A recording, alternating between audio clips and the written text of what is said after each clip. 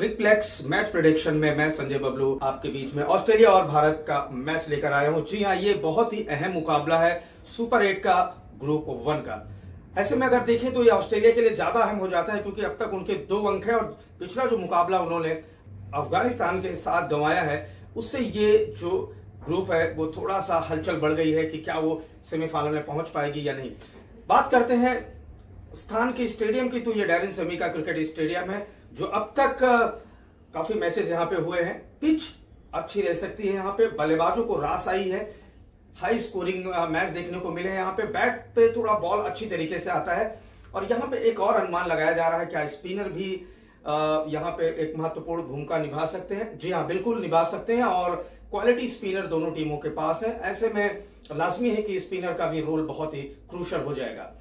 की प्लेयर की हम बात करें दोनों टीमों में आ, कुछ ऐसे खिलाड़ी हैं जो इस मैच पे नज़र रखेंगे और अपना अच्छा परफॉर्मेंस करेंगे।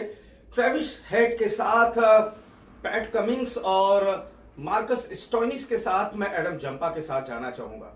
ये चार ऐसे खिलाड़ी हैं और इसमें अगर मैक्सवेल का नाम आप जोड़ दें तो वो भी एक महत्वपूर्ण भूमिका निभा सकते हैं। भारत की तरफ़ से रोहित शर्मा ऑस्ट्रेलिया के खिलाफ इनका ट्रैक रिकॉर्ड अच्छा है। ऋषभ पंत बुमराह कुलदीप के साथ मैं हार्दिक पांड्या के साथ जाना चाहूँगा। जी हाँ दोस्तों, ये जो प्लेयर हैं, ये महत्वपूर्ण भूमिका निभा सकते हैं।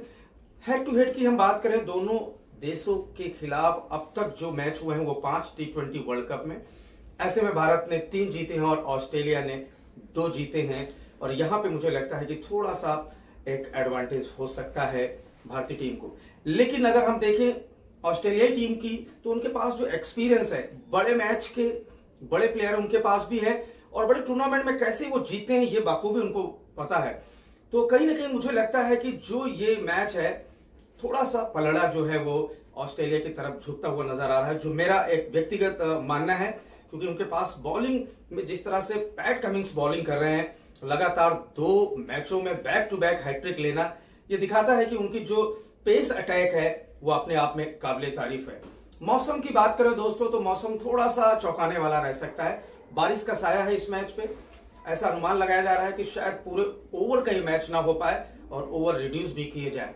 टॉस की क्या भूमिका होगी, मैं आपको ज़रूर बताऊँगा। इस मैदान पर ज़्यादातर कप्तानों का यही मानना है कि टॉस जीतने के बाद, भैया, पहले फील्डिंग कर लो, जो टारगेट मिलेगा, उसे हम चेस कर सकते हैं। तो फील्डिंग जो चॉइस होगी कैप्टन की, वो टॉस के बाद पहली। और ये देखने वाली बात होगी कि ऑस्ट्रेलिया जो इस ग्रुप में थोड़ा सा पिछड़ रही थी, वो मैच रोचक हो गया क्योंकि इस मैच के बाद अफ़गानिस्तान और बांग्लादेश का मैच है, और वो काफ़ी कुछ निर्भर करेगा इस ग्रुप में। तो क्रिकप्लेक्स मैच प्रोडिक्शन में बस इतना ही। धन्यवाद।